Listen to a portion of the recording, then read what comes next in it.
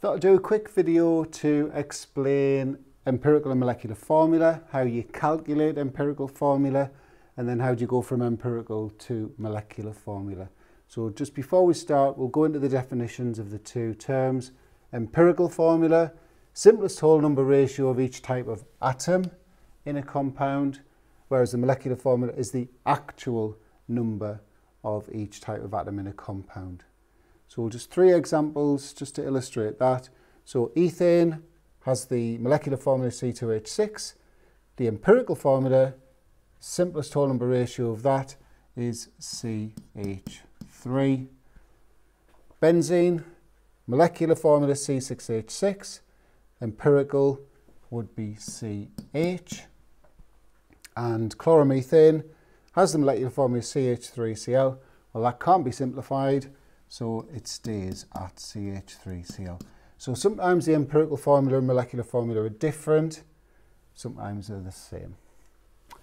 Okay, so how do you calculate empirical formula? So I've got this grid to sort of help my students as they're starting out. You don't need it eventually, but we'll start off with it. So the first thing we do is we put in the atoms involved in the compound. So this is sulfur and oxygen, so S and O. And the first thing we write in is the mass in grams. So this first row is for mass, so it's 3.25 and 3.22. We then put the MR of each atom in, so we've got 32.1 for sulfur, 16 for oxygen. Remember, it's atoms, not molecules, so it's 16, not 32. That would be a common mistake I'd see. Why do we use those two? It's because we're going to work out the moles. So mass divided by MR gives us the moles. And I always say to my students, a minimum of three significant figures for that. Okay, so that comes out at 0.101. So you can't just go 0.1, you'd lose a mark and this is 0.201. And then what we, you can probably see the ratio there actually, but to get the ratio, the one to something ratio, we divide both by the smallest.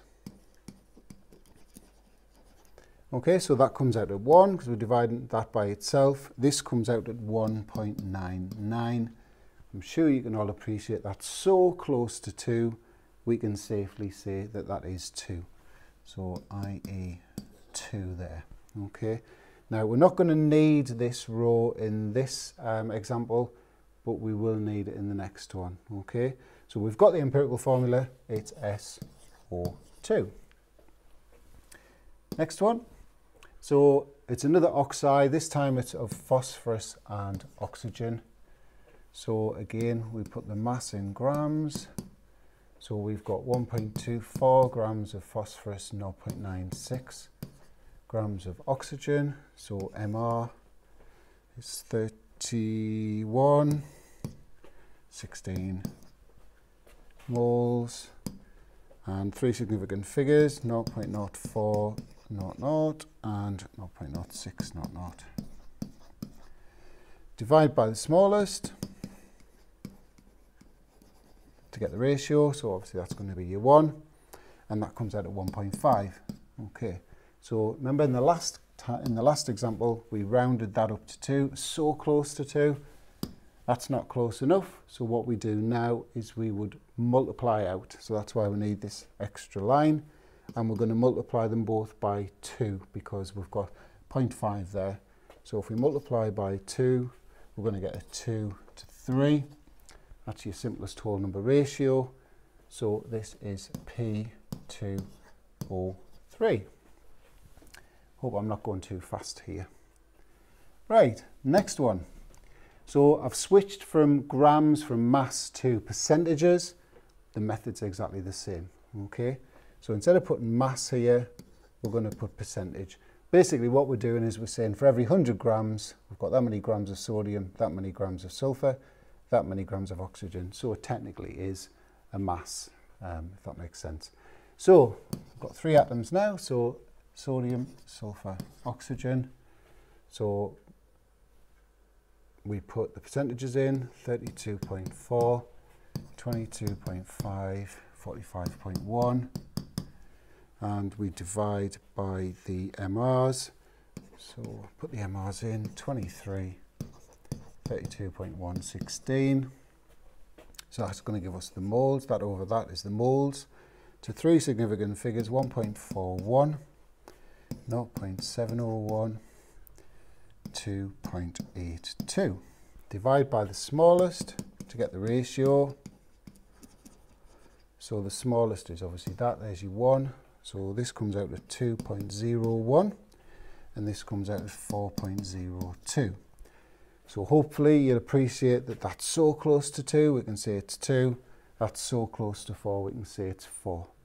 So we don't need this line, we're not needing to multiply this out, so we've got the formula, the empirical formula is Na2SO4. So percentages, grams, same method, okay?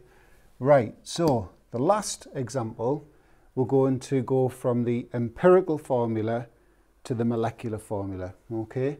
So the first part of the question, empirical formula, is just what we've already done. I've lost the, the grid now.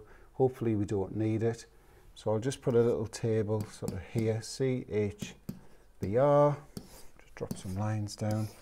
So the first thing I'm going to do is put the percentages in, 12.78, 2.13, 85.2. Dividing by the MR, so we've got 12, 1, 79.9. I'll write moles here, so that's, it, that's significant. So in three significant figures, 1.07 moles of carbon, uh, 2.13 obviously moles of hydrogen, 1.07 moles of bromine. Divide by the smallest, so they're both going to be 1. And that comes out at 1.99. So hopefully you'll appreciate that's that is virtually 2. So we're going to say that that's 2. So the empirical formula, let's put EF for short, is CH2Br. Okay, so what about the actual formula, the molecular formula? Well, if that was the molecular formula, that would have to have a, an MR of a hun oops, 188. That's a bit dark, isn't it? Uh, let's go for that one. So it's got to have an MR of 188.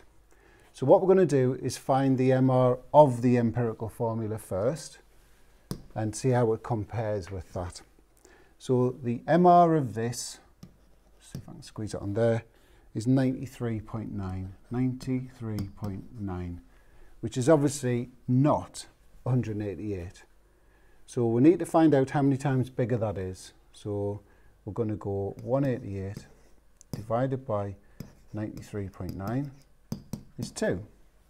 So all we all we all we need to say now is well the molecular formula is 2 times all of that. So the molecular formula must be 2 carbons, not 1, C2, 4 hydrogens, not 2, so H4, 2 bromines, not 1, Br2. Okay, it's still got the ratio in, 1 to 2 to 1, but that's the actual number of atoms in the molecule, and that will give you that MR of 188. Hope that made sense. Uh, if you want me to do something else, just give me a shout and I'll see what I can do. Cheers, bye.